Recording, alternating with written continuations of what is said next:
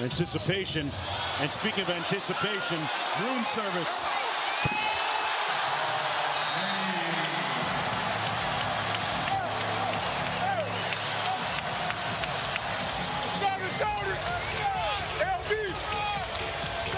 LeBron James off the steal by Monk. And LeBron with a little self-expression